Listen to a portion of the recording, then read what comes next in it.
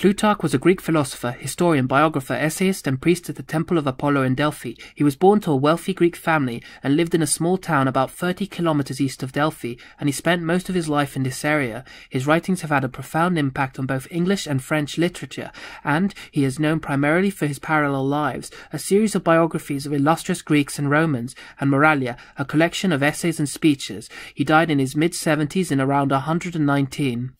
Please like, comment and subscribe. Thank you all for watching.